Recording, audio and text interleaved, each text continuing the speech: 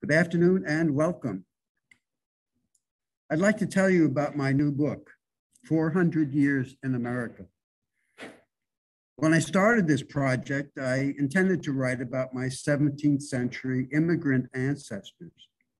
However, with over 220 individuals in that category, I quickly decided to limit the subjects of the book to my earliest immigrant ancestors up to and including my paternal line ancestor, Gerrit Hendrickson Blauvelt, who emigrated in 1641. This meant I had to leave out many ancestors I wanted to write about, but it still left me with a total of 55, which was more than enough. And I know that these 55 earliest settlers of New Netherland, after 10 generations of descendants, are the ancestors of many millions of Americans living today. Now, this first slide you can see with the title of my book at the top is a watercolor drawing on paper entitled New Amsterdam on the island of Manhattan. The date of the view is estimated to be between 1650 and 1653. And from what I know of lower Manhattan in 1650, this view is from the Brooklyn side of the East River looking across.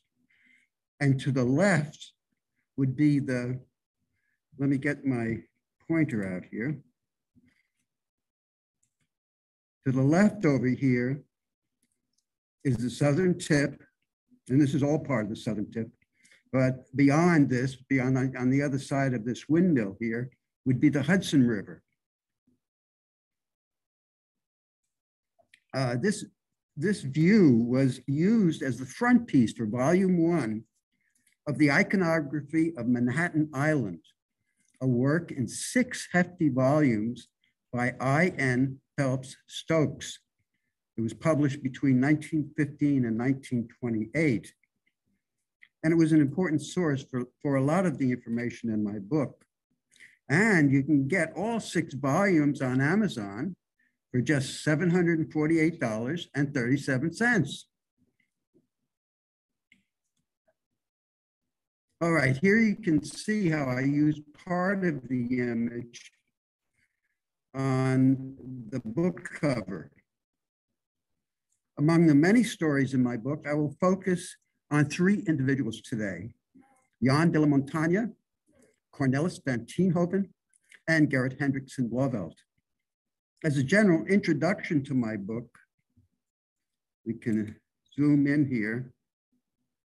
I'm going to read just the first paragraph on the back cover. In the spring of 1624, the Eendracht a small ship from the Netherlands, entered New York Harbor. Among its passengers were the first permanent settlers of New Netherland. A few months later, another ship called the New Netherland arrived with more settlers destined for the Dutch colony. The year 2024 marks the 400 year anniversary of these events. Now, although there were, there were 30 families who came on those first two ships, we know of only four who survived and left descendants. The names of these families were Rapalje, Vigne, Montfort, and Dutrieu. I am a descendant of the first three families. They were all ethnic Walloons. So who were the Walloons, you ask?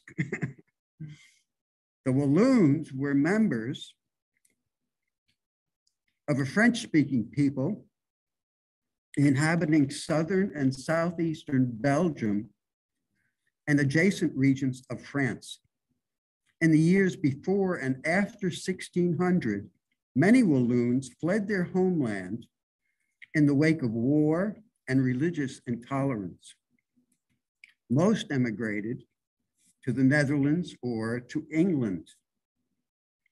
Let's look at this next slide. But before I tell you about our three persons of interest, I want to introduce you to one of these Walloons, Jesse DeForest, the man most responsible for the arrival of the first settlers, though he himself never set foot in the colony of New Netherland. Sometime before 1615, Jesse DeForest and his family came to Leiden in the Netherlands from their homeland in northern France. In Leiden, Jesse came to know the English pilgrims who were living there before they sailed on the Mayflower to New England in 1620. And it's notable that the, the original destination of the Mayflower was the Hudson Valley area, but they landed at Plymouth Rock instead. The pilgrims inspired Jesse to organize a similar plan of emigration. And through his ambition, perseverance, and leadership, Jesse DeForest prevailed upon the Dutch West India Company to sponsor a group of families he recruited to establish a settlement in the Dutch American colonies. To make a long story short, Jesse died in South America before he could join the first settlers to New Netherland. But he wasn't forgotten. In May of 1924, the cities of Avesnes in France and New York in the USA erected monuments to commemorate the 300th anniversary of the Walloon settlers' arrival in New York. President Calvin Coolidge and dignitaries from France, Belgium, and the Netherlands were present for the dedication in Battery Park in New York City. And this is what the monument looked like after it was first installed. And I, on the slide, I have included Jesse's distinctive signature here at the top, as well as the inscription on the monument. Presented to the city of New York by the Provincial Council of Hainaut in memory of the Walloon settlers who came over to America in the New Netherlands under the inspiration of Jesse DeForest of Avesnes. And here, this is what the monument looks like today. It's behind a fence. And many people pass by, but few stop to notice the monument or the person and event it commemorates. Here's a closer look showing the uh, New York City buildings north of the park. And the dates, you can kind of make them out here, 1624 to 1924.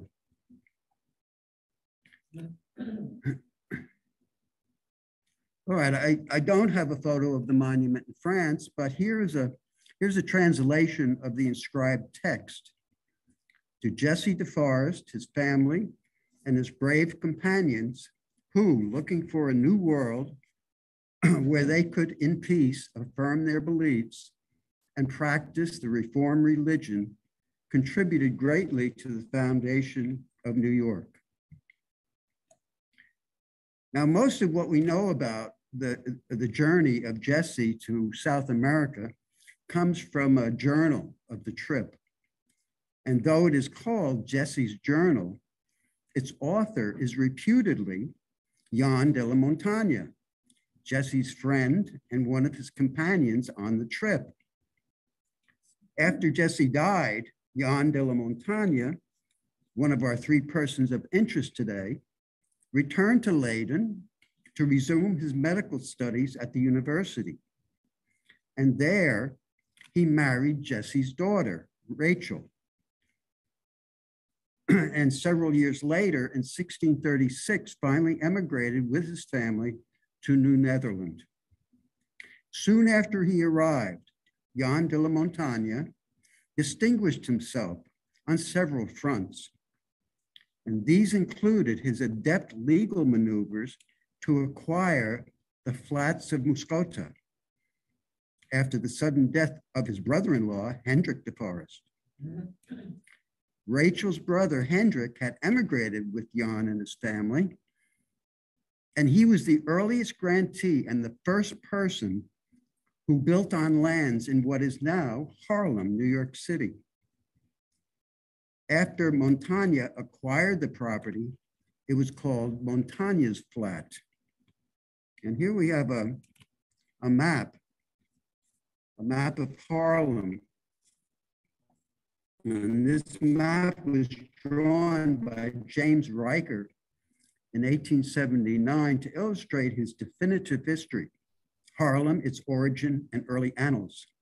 And it's important to realize that Montagne owned his property here before any of the other landowners indicated on the map. Over here is Montagne's flat, but we'll get a closer look at this.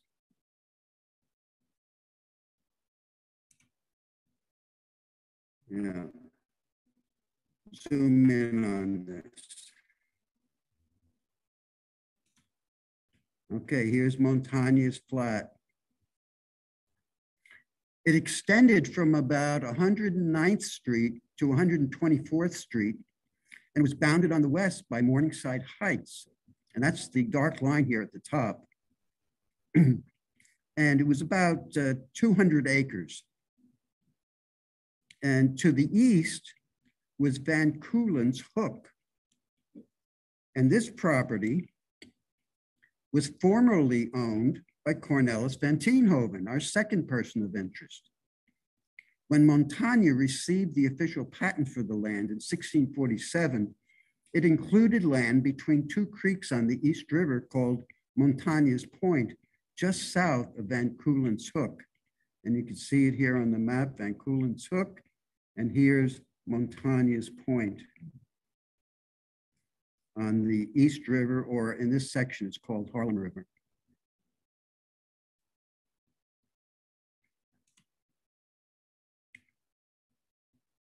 All right, now let's get back to those first families of New Netherland. And just as a reminder, the names of the first families were Rapalje, Vigne, Montfort, and Dutrieu. And they're shown here on the slide, put the names. The Vigne family included the patriarch, Guillet, his wife, Adriana Couvrier, and their three daughters, Maria, Christina, and Rachel. And they settled on property just north of today's Wall Street in this area, but we'll get a closer look at this in a minute. Where a brook emptied into the East River. Soon after they arrived, Adriana bore a son named Jan, who is thought to be, though unproven, the first European male uh, born in New Netherland. He was the same Jan Vigne who sold a small lot on Broadway, just south of Maiden Lane, to our third person of interest, Gerrit Hendrickson Blauvelt, in 1663. And now I want to make a, a, a short detour. Notice here the the dotted lines showing the approximate boundaries of lower Manhattan today. And these dotted lines over here going to the right, that's an indication for the Brooklyn Bridge. Here's lower Manhattan today. The original shoreline is nowhere to be found. Now note, note here, Battery Park City over here on the left, all 92 acres of it between the Hudson River and West Street. It was built on landfill from the World Trade Center. And it is just the most recent uh, expansion of the city into the Hudson and East Rivers. Now compare this to Lower Manhattan in 1609 or at least an artist's rendering of, of Manhattan that Hendrik Hudson would have seen. The stream near the southern, southeastern tip of the island over here, this would become a canal in New Amsterdam. And then when it was later filled in and called Broad Street. The small patch of green just to the north over here, that's where another stream emptied into the East River and where the Vigne family settled. And, and in this area between those two patches of green is the location of the future Wall Street. Now let's get back to that map. Um, let me point out some um, some landmarks down here near the the tip of the island. That's Fort Amsterdam and Broadway, Old Indian Trail. Um, and then this, the, the stream that became a canal that became Broad Street that's over here. And of course, at, at the, in the 1600s, the mid 1600s, it's indicated, you can see that it's a canal.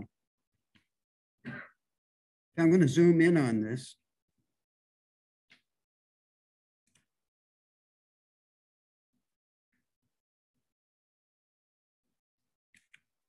One second.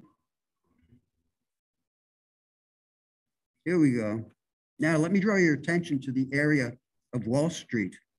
This is where the West India Company built fortifications. They built a wall along the northern boundary of the village. The corner of Wall Street and Broad Street over here, you can see part of the canal here, right on this corner, Wall Street and Broad, this is where Dutch merchants met to trade securities. It is no accident that the financial district we know today as Wall Street is located here.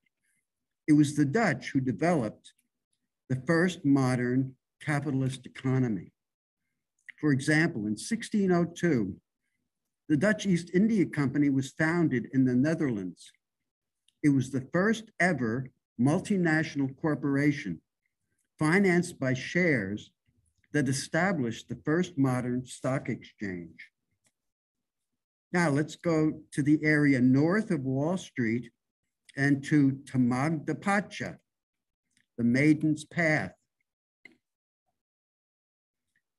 Um, this is, um, here's that other stream emptying into the East River where the Vigne family settled. Today, the street going east from Broadway is called Maiden Lane. And there's a plaque at uh, 15 Maiden Lane near Broadway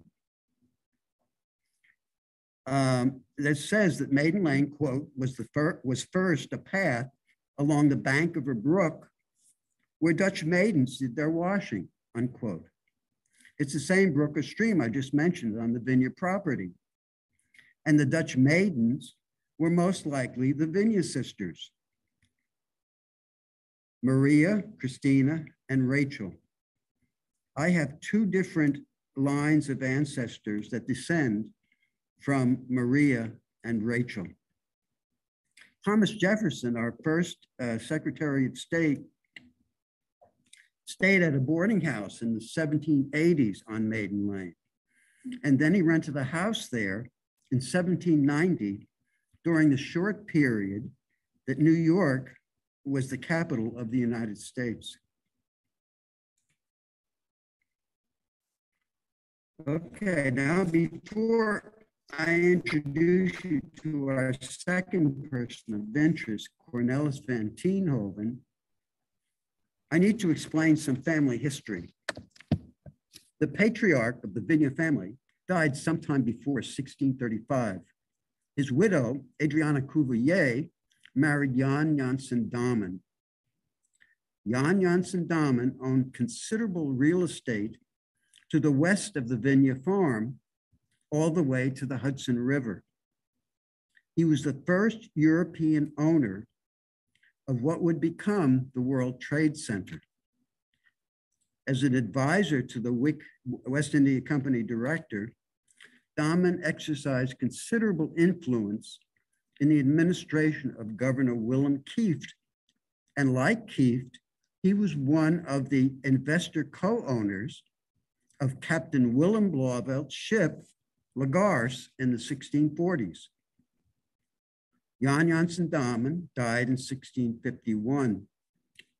The extent of his considerable wealth was detailed in the inventory of his personal property that filled 10 folio pages in the records. Almost the entire Jan Jansen Dahmen estate that included the old Vigne estate after Adriana Cuvillier died in 1655, it all went to the three Vigne sisters, their brother, and their spouses.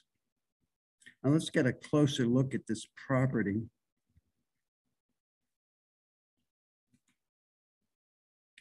Okay, here's the land of Jan Jansen Dahmen. This is where the World Trade Center was built over here. And this is the shoreline. This is the Hudson River. And then we can see Broadway here. And this is Wall Street. And look here, land of Jan Jansen Dahmen again. This was formerly the Vigne Farm, but now uh, owned all the property from the Hudson all the way to the East River. Now, uh, Maiden Lane is not indicated on this map, but it, it started about here on Broadway and then uh, ran in a easterly direction like this. And directly north of that was the property of Cornelis van Tienhoven. Now let's back up a little bit. Jan Dahmen's marriage to Adriana Cuvillier made him, naturally, the stepfather of the Vigne children.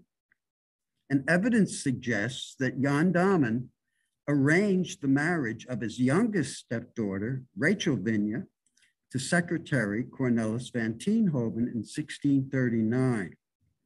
The two elder sisters were, were already married. Rachel was only 16 when she married the secretary.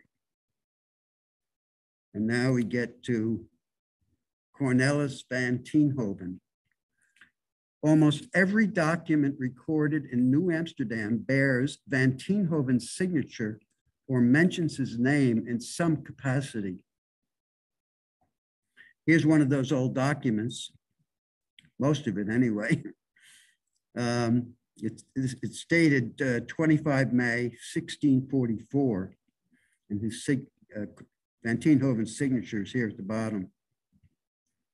And, and I'm going to read a, a quote from Amsterdam and Its People by J.H. Innes. Cornelis van Tienhoven was identified, quote, more than any other individual with the history of New Netherland during at least a score of the earlier years of, of its existence. He early acquired an influence in the government of New Netherland which he preserved under such dissimilar administrations as those of directors Van Twiller, Kieft, and Stuyvesant. This influence he managed to maintain in spite of many rash and unfortunate schemes for which he was largely responsible, and in spite of the incessant attacks of his enemies who comprised a large part of the community. Here we can get a, a closer look at his signature here at the bottom.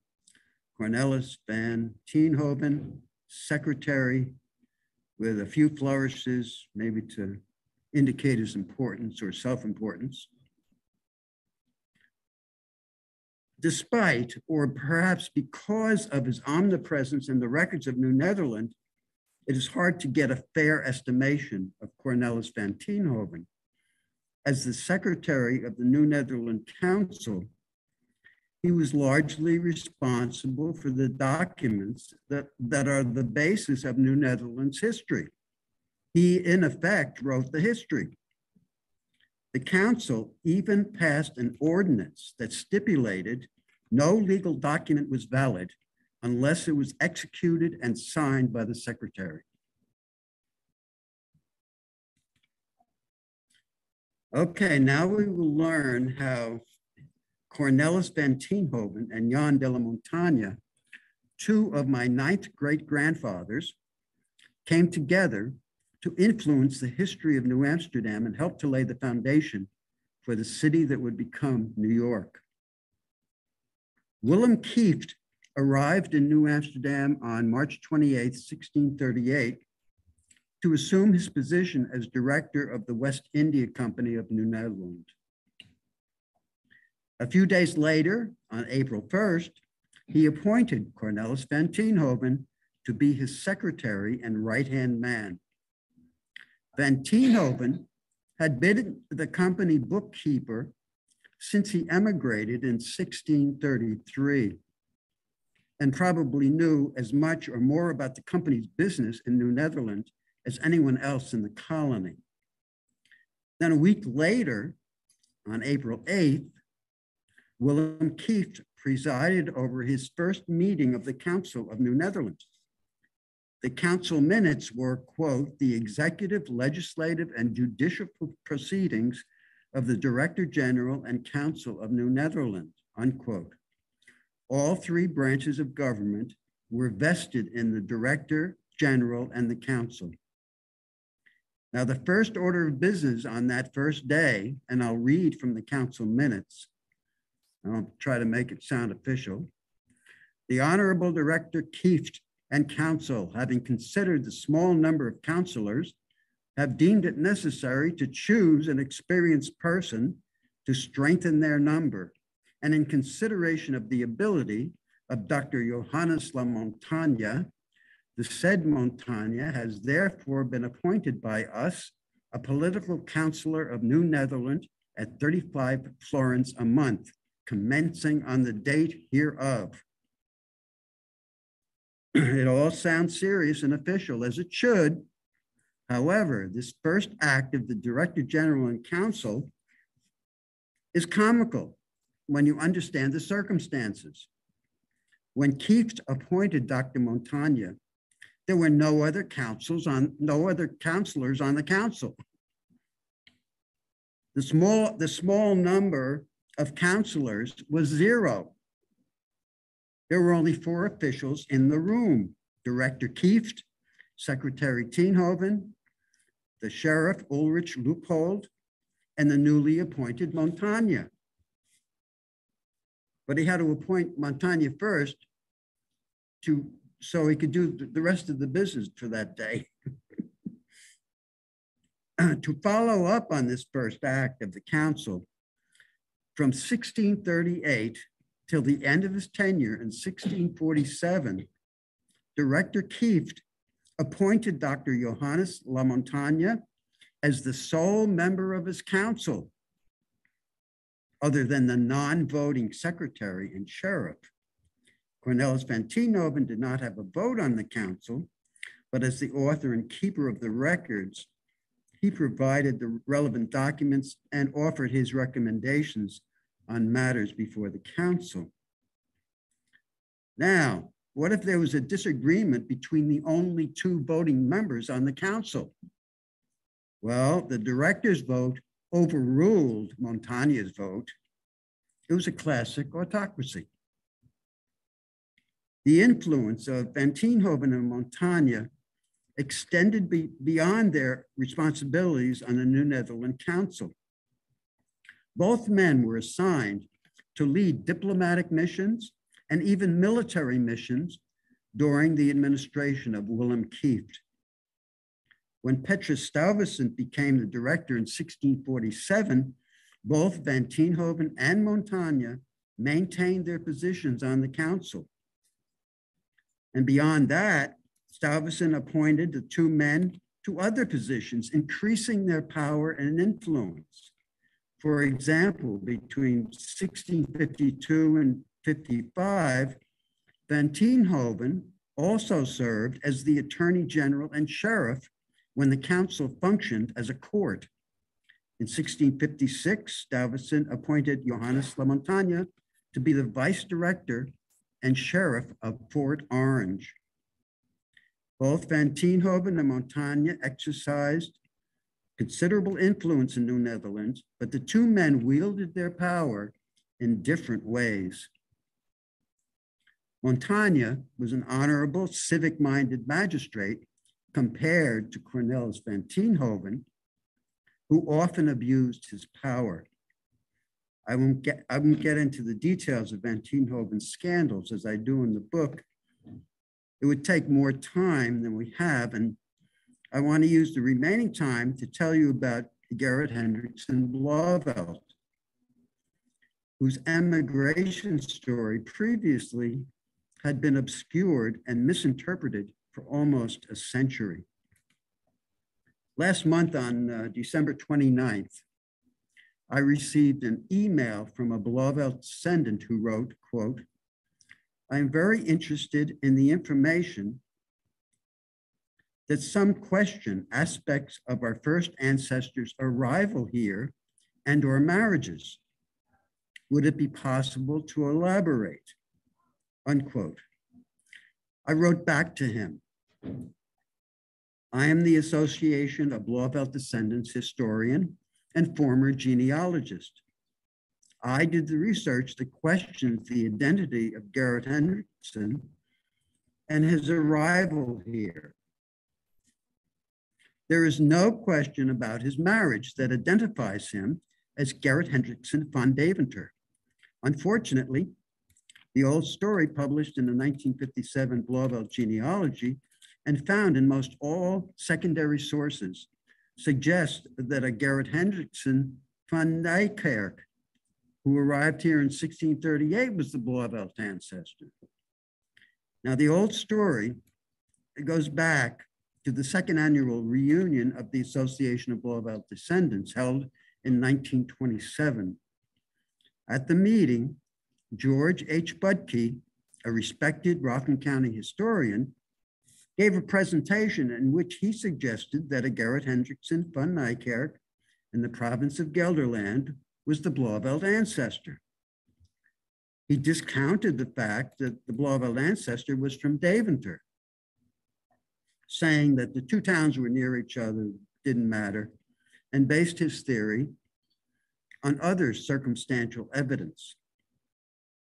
This theory of the Blauvelt ancestor was published in a 1931 article and then published again in the 1957 Blauvelt genealogy.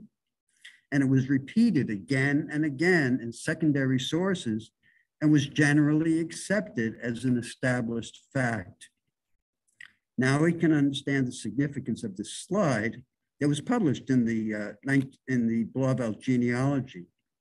This is a view of Deventer in the province of Overijssel. Deventer was the place of Gerrit Hendrickson's baptism. Now notice here the bridge in the foreground.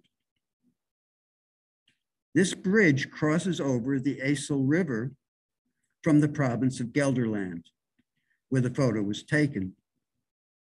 The province of Overijssel gets its name from being the province that lies over the Ijssel River. Uh, Overijssel. The Ijssel River is a major south to north river of the Netherlands. When I was the genealogist for the Blauvelt Association in the 1990s, I noticed several puzzling inconsistencies with conflicting information in the old story of Gerrit Hendriksen's emigration to New Netherlands. Without getting into all the details, the basic problem seemed to be a case of mistaken identity, though it was not clear to me at first. But as the genealogist for the association, I felt responsible to explain how, this two, how these two seemingly different people could be the same person as claimed in the old story. On a trip to the Netherlands in 1998, I spent some time researching at the National Maritime Museum in Amsterdam. And that's what's pictured here on the, on the slide. along with one of the old ships that's, that's anchored nearby.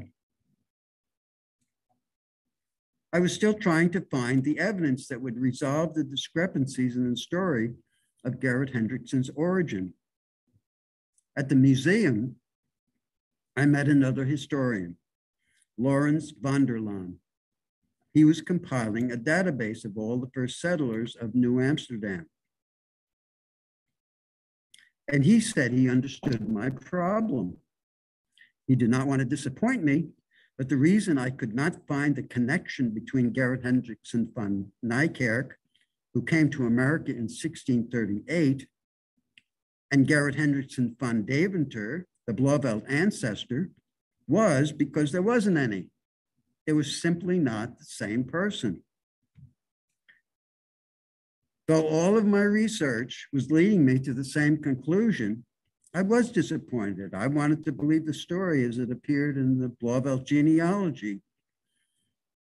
But then I realized that all of my hard work was not in vain.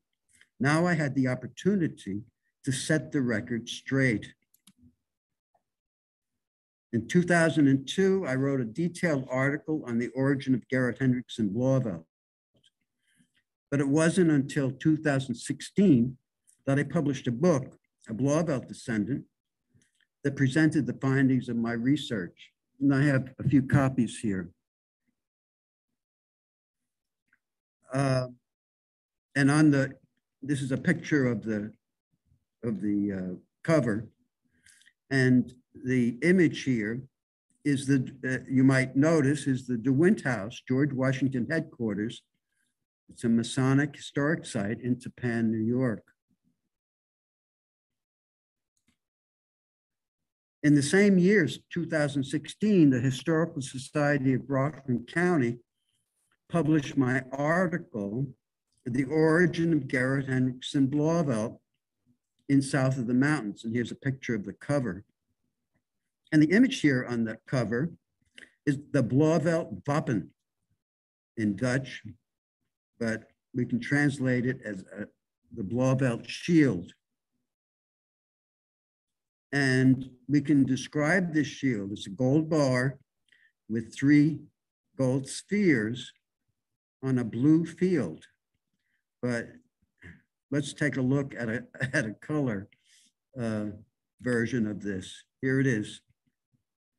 The gold bar, the three gold spheres on a blue field. And blue field is the probable derivation of the Blauvelt name. Blauvelt means blue field. My current book, 400 Years in America, presents the facts of Gerrit Hendrickson's life, the one from Deventer, with a plausible explanation for the origin of the Blauvelt ancestor, but without any reference to the old story. In brief, I concluded that Gerrit Hendrickson was a descendant of Peter of Enkhuizen, the first known Blauvelt, and a member of the merchant ruling class in the Netherlands. Gerrit came to America with his relative, Willem Albertson Blauvelt, captain of the ship La Garce, in 1641. In 1646, he married Marie Mole, the eldest daughter of New Amsterdam's shipbuilder, Lambert Mole. Also in 1646, through his privileged relationship with Captain Blauvelt and director Willem Kieft, Gerrit received the grant of a plantation over 50 acres, making him the next door neighbor of Petrus Stuyvesant when he became the director of the West India Company in 1647. Now, despite my books and articles, the email I received in December and the proliferation of secondary sources online repeating the old story of Gerrit Hendrickson is evidence that few people know the new story. And that's the main reason I decided to include it in my presentation today, so that now you know.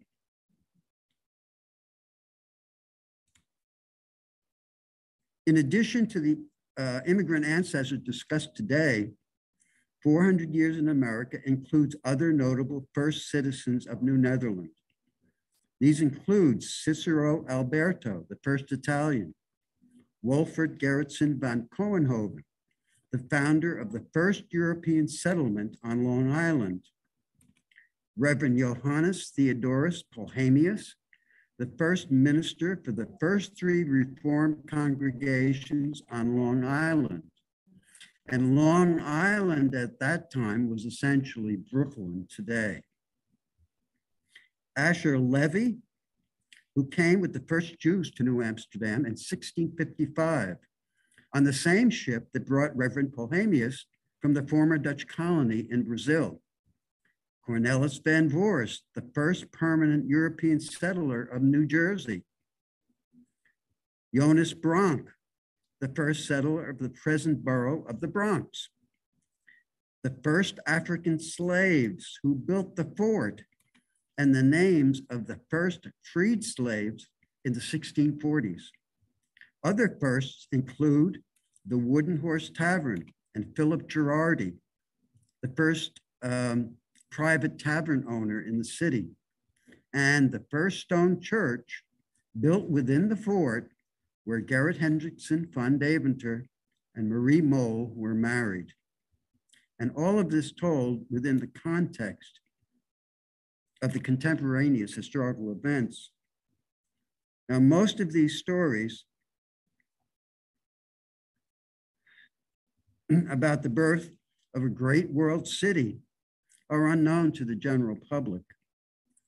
But I hope you have enjoyed this introduction to a few of them. Thank you.